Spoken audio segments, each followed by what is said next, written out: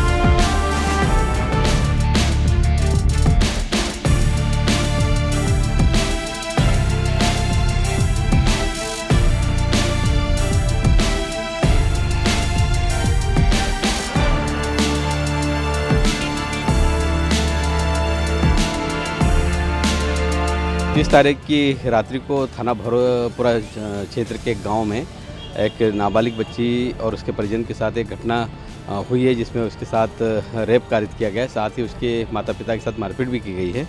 तो इस संबंध में पुलिस के द्वारा धारा तीन सौ तेईस, तीन सौ छिहत्तर, तीन सौ छिहत्तर डी, चार सौ अट्ठावन, पाँच सौ छः चौंतीस और तीन बटे चार, पाँच एक्ट के तहत मामला पंजीबद्ध किया गया है और उसमें पुलिस अनुसंधान अनुसंधान कर रही है। अभी फ़िलहाल पुलिस लगातार उस प्रकरण में अज्ञात आरोपियों के पतारासी और उनकी गिरफ्तारी के समुचित प्रयास कर है इस संबंध में एक आ, एक व्यक्ति को हिरासत में लिया गया है संदिग्ध है। उससे पूछताछ की जा रही है और संभवतः हम मामले का शीघ्र निकाल कर लेंगे।